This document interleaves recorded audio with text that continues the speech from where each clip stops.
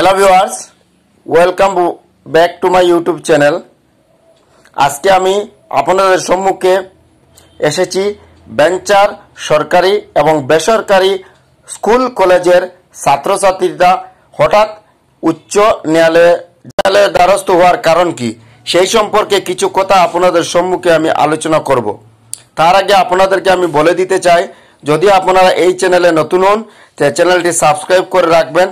আর পাশের বেলটি বটমটিতে প্রেস করে রাখবেন, যাতে আমি যে ভিডিওগুলি আপনাদেরকে দিব, সেই ভিডিওগুলি আপনারা পেয়ে যাবেন।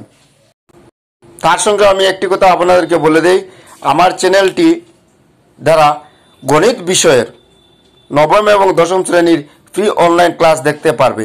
যে সমস্ত ছাত্রছাত্রীরা এখনও সাবস্ক্রাইব করনি, তোমাদেরকে বলছি সাবস্ক্রাইব করে রাখো, যাতে তোমাদের ফ্রি অনলাইন ক্লাস করার সুবিধা আছে। তার সঙ্গে আমি বলে দিচ্ছি, আমার যে গণিত বিষয়ের ক্লাসগুলো আছে, সেবা বোর্ডের ওয়েবসাইটে দেওয়া আছে। তোমরা যদি সেবা বোর্ডের ওয়েবসাইটে গিয়ে সার্চ করো, আমার ক্লাসগুলি দেখতে পারবে।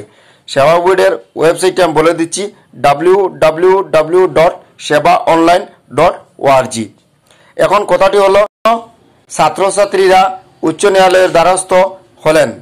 সেই সম্পর্কে আমি তোমাদেরকে কিছু কথা বলতে চাই।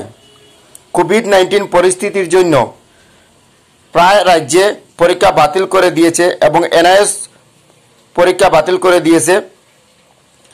কিন্তু আসামে সেবা এবং কাউন্সিলের বোর্ডের এখনও পর্যন্ত পরীক্ষা বাতিল হয় নাই, যার কারণে ছাত্রছাত্রীরা উচ্চ আদালতের দ্বারস্থ হয়েছে।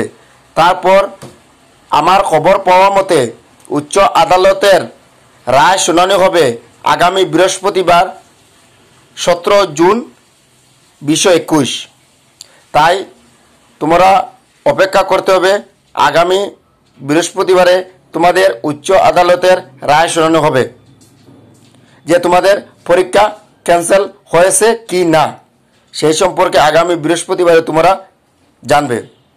তাই আমি ছাত্রছাত্রীদেরকে বলে দিই যে তোমাদের প্রিপারেশন যেটি আছে প্রিপারেশন নষ্ট করবে না, তোমরা পড়তে থাকো। তোমাদের এক্সাম কি হবে না হবে এখনও পর্যন্ত কোনো চূড়ান্ত সিদ্ধান্ত হয় নাই। যার জন্য তোমরা বৃহস্পতিবার আমি বলে দিচ্ছি, আর তোমরা পড়াশোনা ছেড়ে দিয়েছ, এরকম করবে না। ক্লাস তোমরা করতে থাকো, পড়তে থাকো করে বসো, সুস্থ থাকো এবং পড়তে থাকো।